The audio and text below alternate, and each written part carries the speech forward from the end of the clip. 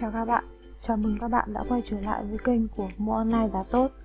Khi mua những sản phẩm nhà bếp thì hầu hết mọi người đều rất là kỹ lưỡng Nhất là với những chiếc bếp bởi vì đây là những vật dụng thường xuyên.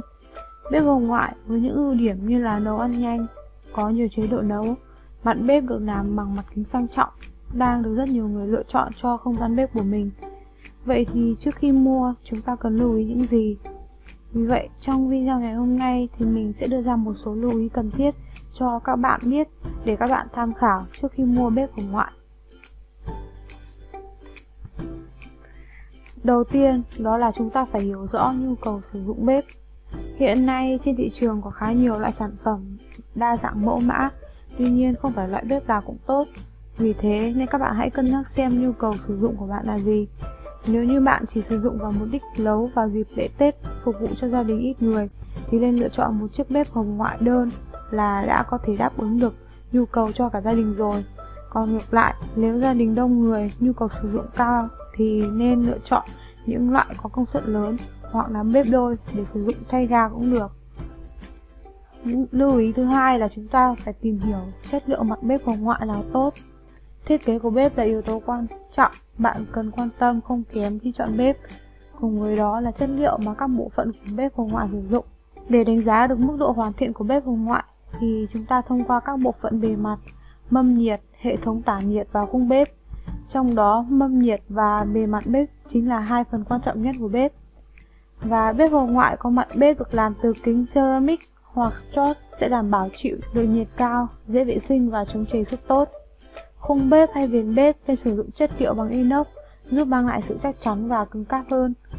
Một số lưu ý khi chọn chất liệu bề mặt bếp hồng ngoại, như vật liệu kính strut cao cấp, thì kính này có xuất xứ đến từ Đức với hỗn hợp gốm sứ, thủy tinh, không chứa các chất độc hại, cho khả năng chịu nhiệt và chịu lực gấp 3 lần so với những loại kính thông thường, nhưng giá bán thường cao hơn.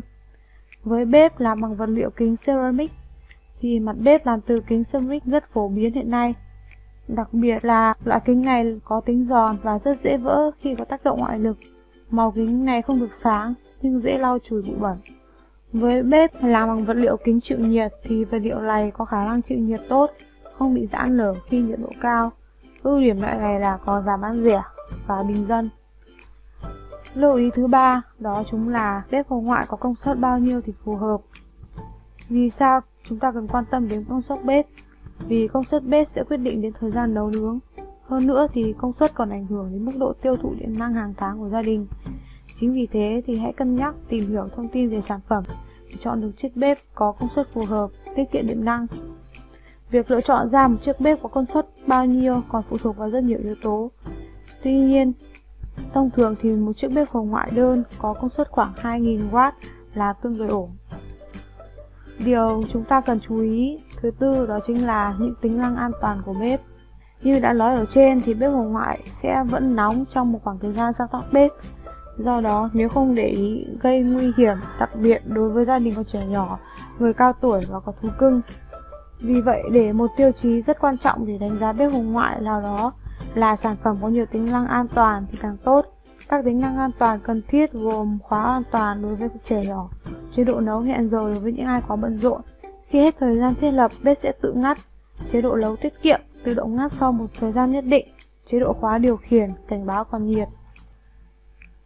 Điều chúng ta cần lưu ý thứ năm đó chính là bếp hồng ngoại có giá bán bao nhiêu. Cũng giống các sản phẩm đồ nhà bếp khác thì bếp hồng ngoại có nhiều chủng loại với đa dạng các mức giá khác nhau để cho bạn lựa chọn. Tuy nhiên, tùy thuộc vào khả năng tài chính và nhu cầu sử dụng để lựa chọn cho phù hợp. Để dễ dàng hình dung thì mua online giá tốt xin giới thiệu với các bạn ba phân khúc khá là phổ biến hiện nay. Đó chính là phân khúc bếp hồng ngoại giá rẻ, bình dân có giá dao động dưới 500 nghìn. Nếu ngân sách dành cho việc mua bếp của bạn hạn chế thì có thể cân nhắc lựa chọn các sản phẩm ở khung phân khúc này. Các bếp ở mức giá này có thiết kế đơn giản và không đem lại cho bạn sự trải nghiệm thật sự với phân khúc bếp hồng ngoại tầm trung có mức giá dao động từ 500 đến 1 triệu rưỡi thì với mức giá này thì bạn khá yên tâm khi đã sở hữu cho mình một chiếc bếp hồng ngoại khá là đầy đủ với chức năng và thiết kế. Về phân khúc bếp hồng ngoại cao cấp có mức giá trên 1,5 triệu đồng thì một phân khúc đem đến cho bạn và gia đình các sản phẩm có thiết kế đẹp, kiểu dáng sang trọng cùng công nghệ nấu nướng đa dạng và độ bền rất cao. Dựa vào một số phân khúc này thì các bạn có cái nhìn tổng quát hơn, qua đó giúp bạn lựa chọn sáng suốt nhất và hợp lý nhất. Điều lưu ý cuối cùng mà chúng ta cần biết trước khi mua bếp hồng ngoại đó chính là xuất xứ và thương hiệu của bếp. Giữa thị trường rất nhiều dòng sản phẩm thì nếu không tìm hiểu kỹ sẽ dễ mua nhầm hàng giả, hàng nhái kém chất lượng. Hay là người đầu tiên dùng thông minh chọn mua bếp từ các thương hiệu uy tín. Với bếp hồng ngoại nhập khẩu từ châu Âu như là hãng Post, Fager, TK là những thương hiệu bếp được nhập khẩu nguyên chiếc từ châu Âu. Với dòng sản phẩm được lắp đặt tại châu Á thì một số thương hiệu nổi tiếng có thể kể đến như là Chef, Taka, Mambo, Sevilla và Sanji và cùng một số hãng nổi tiếng khác như là Napoli. Quá trình lắp ráp sẽ được tiến hành ở một số nước châu Á như là ở Trung Quốc, Malaysia và Thái Lan. Với dòng sản phẩm được sản xuất tại châu Á thì đây là những sản phẩm được sản xuất hoàn toàn tại châu Á. Dòng bếp này có giá vừa túi tiền và được ưa chuộng tại thị trường Việt Nam. Và vừa rồi là một số lưu ý chúng ta cần biết trước khi mua bếp hồng ngoại. Mình hy vọng những thông tin vừa rồi sẽ giúp các bạn chọn cho mình một chiếc bếp hồng ngoại phù hợp với điều kiện và gia đình bạn nhất. Link mua hàng thì mình sẽ để sẵn ở dưới phần mô tả, các bạn có thể tham khảo.